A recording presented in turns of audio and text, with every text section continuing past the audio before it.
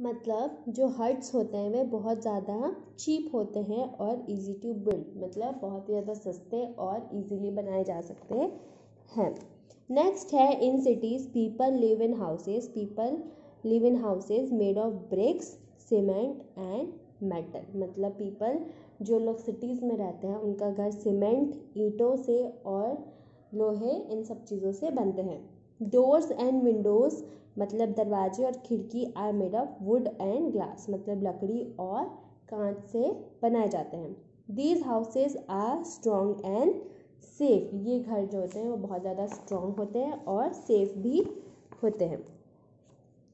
Some peoples live in small houses some live in bungalows and some live in flats मतलब कुछ लोग छोटे घरों में रहते हैं कुछ लोग बड़े घर में, बंगलोज में रहते हैं और कुछ लोग फ्लैट्स में रहते हैं। Do you live in a small house bungalows और फ्लैट आप लोग किस घर में रहते हैं? यहाँ पे आपको लिखना है, ठीक है?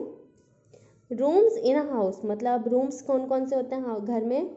A house has many rooms each room has a different use मतलब घर में बहुत सारे रूम्स होते हैं और हर रूम का अपना एक काम होता है, अपना एक यूज़ होता है। फ़र्स्ट है वी स्लीप इन बेडरूम मतलब हम बेडरूम में सोते हैं। वी बात इन अ इन द बाथरूम मतलब हम बाथरूम में नहाते हैं फ्रेश होते हैं। Our mother cooks food in kitchen हमारी मम्मियाँ किचन में खाना बनाती है। We take food in the dining room मतलब डाइनिंग रूम में हम बैठ के सभी साथ में फैमिली के साथ खाना खाते हैं। We talk and meet our guest in the drawing room drawing room में बैठ के हम अपने गेस्ट से, मेहमानों से बैठ के बात करते हैं। Some homes also have study room मतलब कुछ घरों में पढ़ने के लिए रूम भी होता है स्टडी रूम भी होता है where we read and study जहाँ हम बैठ के पढ़ाई करते हैं। We should keep our home neat and tidy मतलब हमें अपने घर को हमेशा साफ़ और सुथरा रखना चाहिए।